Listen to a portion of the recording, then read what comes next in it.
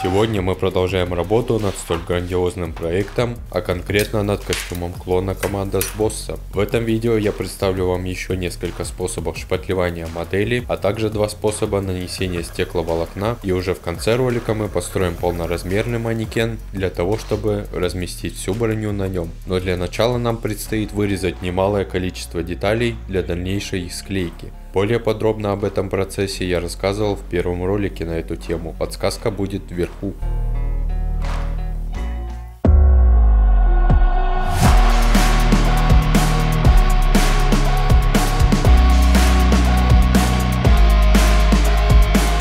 После часов работы мы получаем бумажные основы, с которыми еще предстоит немало работы. Для начала нужно укрепить модель без стекловолокна, чтобы она приобрела небольшую жесткость и ее не повело еще сильнее. По звуку слышно, что теперь это не просто бумажная заготовка,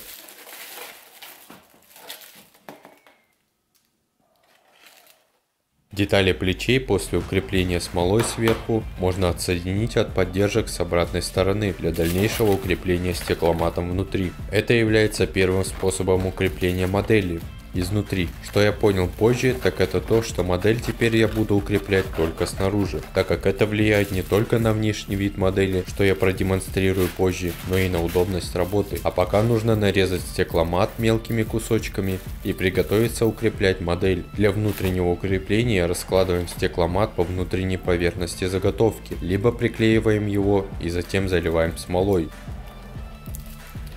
Здесь же вы видите результат внешнего укрепления, что гораздо удобнее и эффективнее. Теперь переходим к выведению плоскостей укрепленной заготовки. Для этого я решил воспользоваться шпатлевкой со стекломатом внутри, что позволит еще более сильно закрепить результат прошлого укрепления. А также эту шпатлевку можно наносить слоями практически безграничной толщины. Главная задача по нанесению этой шпатлевки на модель – это сгладить углы бумажного моделирования и скрепить модель, поэтому точность здесь не слишком важна.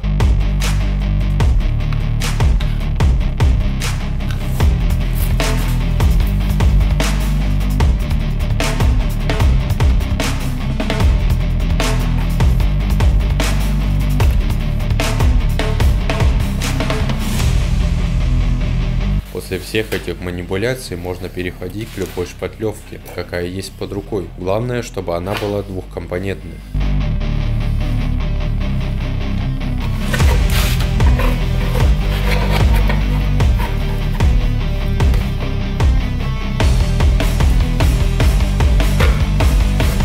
Дефекты, как показано здесь, неизбежны.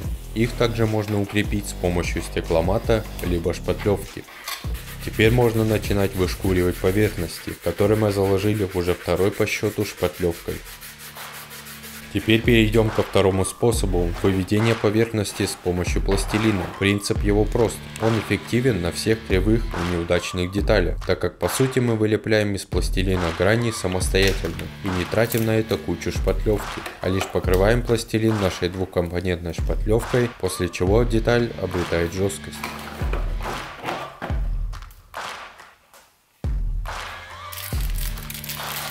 Начинаем восстанавливать геометрию деталей и склеивать ее воедино, после чего швы проклеиваем волокном либо шпатлевкой. Затем можно применять пластилин для дальнейшего изменения вида детали без использования шпатлевки. После того, как мы нанесли пластилин в проблемные места и восстановили геометрию детали, можно смело наносить шпатлевку.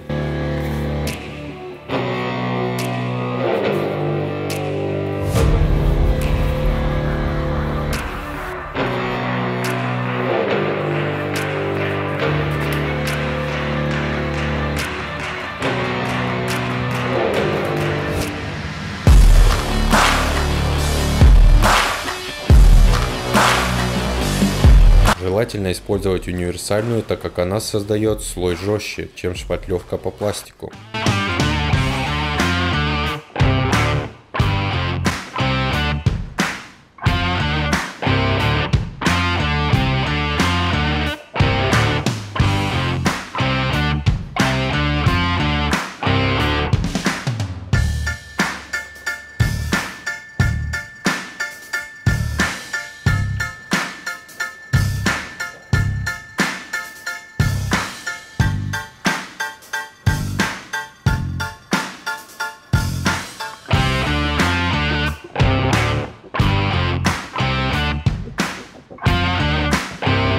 Теперь у нас готовы все детали.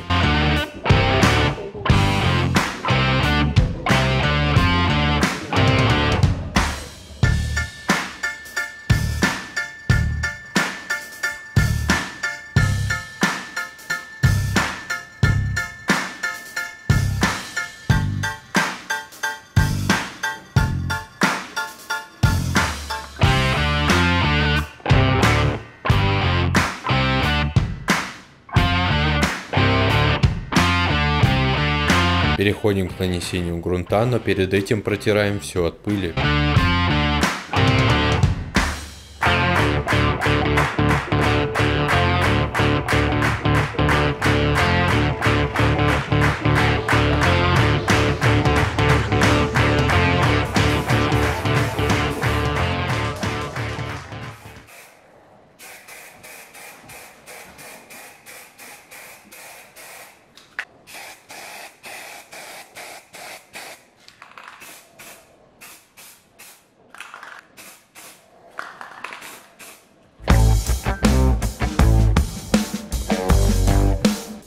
После того, как мы нанесли грунт, осматриваем детали и перешпатлевываем места с дефектами.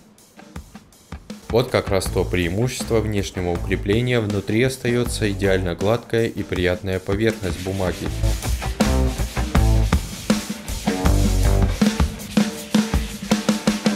Красим детали в белый и переходим к покраске деталей в оранжевый цвет. Для этого необходимо нанести маски на все нужные места, чтобы защитить белый цвет от попадания на него оранжевой краски.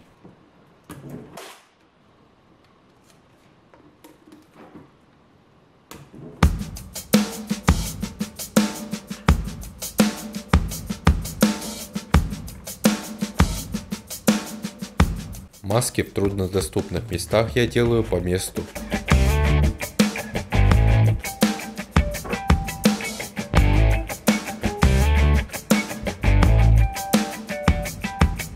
Совсем уж большие плоскости закрываем ненужной бумагой, чтобы не тратить скотч зазря. И начинаем наносить нужный нам второй цвет, в моем случае оранжевый. Теперь переходим к необычной части, изготовлению макета для размещения на нем брони. Для этого нам потребуется небольшое количество труб, которые превратятся в макет.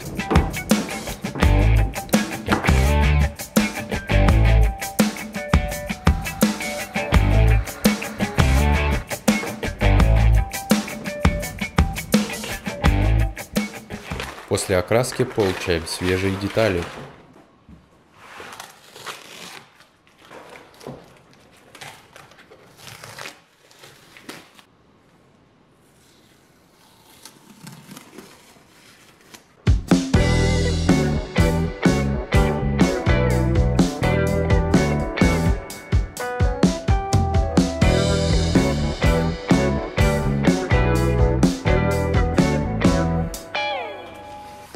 Необходимо состарить их и перевести в соответствие с другими.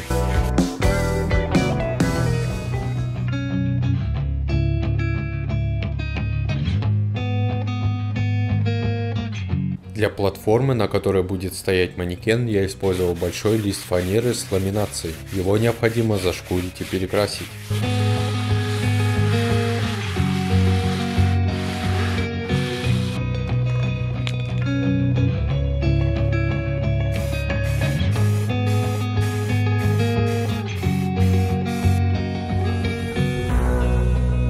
Цельный каркас из труб, который превратился в манекена, можно крепить на платформу и надеть на него броню.